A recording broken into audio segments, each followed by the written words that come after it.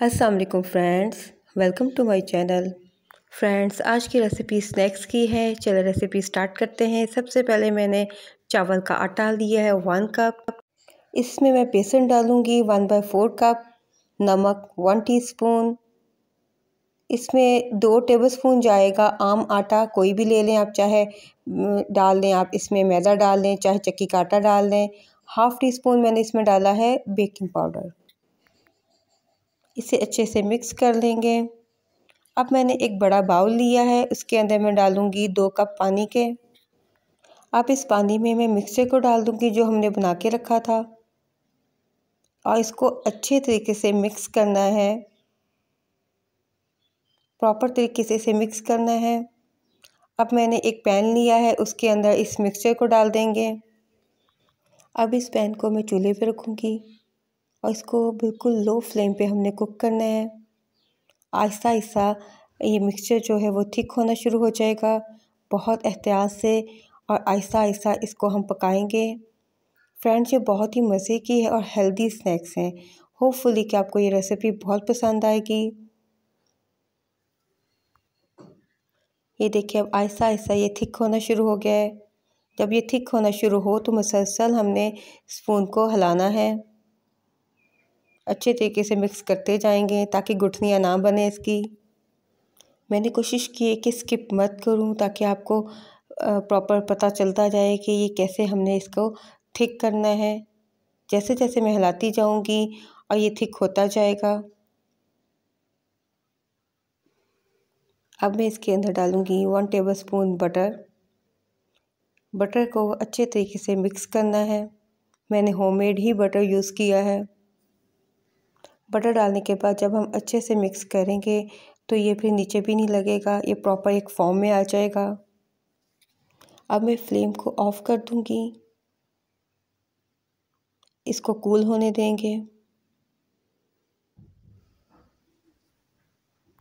Friends, मैं आपको बहुत से टिप्स और ट्रिक्स बताऊँगी कि कैसे ये आपके परफेक्ट किस्म के स्नैक्स बनेंगे। अब मैंने इसको ढाँप दिया कुछ देर ढाँप के रख देंगे। उसके बाद मैंने इसको एक बाउल में निकाल दिया है। अब ये बिल्कुल रूम टेम्परेचर पर आ गया है। कुछ देर इसको रेस्ट पे छोड़ दें। रिलैक्स हो जाए, आप अपने घर के काम कर सकते हैं। उसके बाद मैं इसके अंदर डालूँगी one tablespoon cornflour room temperature पे जब आएगा, तब हम इसके अंदर कॉर्नफ्लोर डाल देंगे उससे पहले मत डालिएगा। अब मैंने इसमें कुछ रोज़मेरी लीव्स डाले हैं, आप थाइम भी डाल सकते हैं इवन कि आप इसमें कोरिएंडर लीव्स भी डाल सकते हैं। इसके अलावा मैंने इसमें चिली फ्लेक्स डाले हैं हाफ़ टी स्पून के करीब। ऑप्शनल है, आप डालना चाहें तो डाल दें अदरवाइज़ बेशक ना डालें। अब मैंने इसे कुछ देर दोबारा से रस दिया था। इवन कि मैंने, अगर देखा जाए तो मैंने इसको कम अज़ कम दो तीन घंटे का रस दिया है। मैं दरमियान में बिज़ी हो गई थी तो मैंने काफ़ी टाइम के बाद मैंने इनको बनाना शुरू किया है। आप ऐसे बनाकर फ्रिज में भी रख सकते हैं, क्योंकि मैंने बना के फ्रिज में ही रख दिए थे। फिर काफ़ी टाइम के बाद मैंने इनको कुक करना शुरू किया।